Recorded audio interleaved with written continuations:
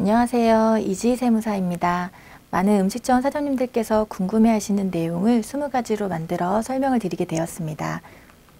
이번에 설명드릴 내용은 감가상각비로 공제받을 수 있다고 하는데 감가상각이 도대체 무엇이냐 이걸 궁금해져서 이거에 대해서 설명을 드리도록 하겠습니다.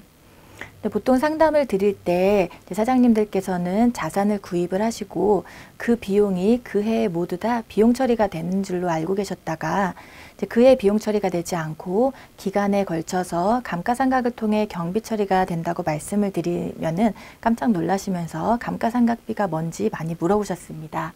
그래서 감가상각비가 뭔지 그리고 음식점업 같은 경우에 내용 연수는 어떻게 되는지 그리고 세법상 공제 방법이 어떻게 되는지에 대해서 설명을 드 리도록 하겠습니다. 먼저 감가상각비란 시간이 지남에 따라 고정자산이 노후화되는 가치를 원가에 포함하여, 포함하여 계산하기 위해서 계산된 비용을 얘기합니다. 음식점 같은 경우에는 감가상각 대상 자산에는 뭐 인테리어를 한 그 시설 장치 그리고 만약에 그 건물이 자가 건물이라고 한다고 하면은 그 해당 건물 그리고 주방의 기계 장치, 제빵기, 냉장고, 에어컨 그리고 가구와 기타 이제 차량 운반구 등등의 이제 자산을 얘기합니다.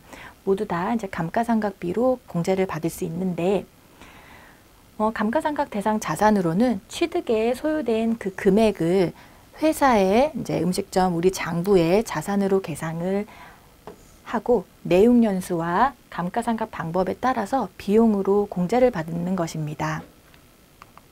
그러면 음식점업의 내용 연수는 어떻게 되는지에 대해서 설명을 드리도록 하겠습니다.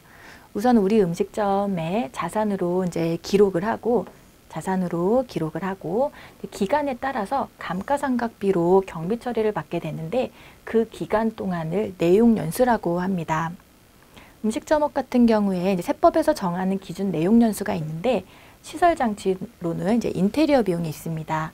시설 장치는 8년 동안 이제 공제가 기준 내용 연수로 정해져 있고 차량도 5년으로 정해져 있습니다. 그리고 그 외에 비품 으로서 냉장고나 에어컨 등 비용 같은 경우에는 5년으로 기준 내용 연수가 정해져 있습니다.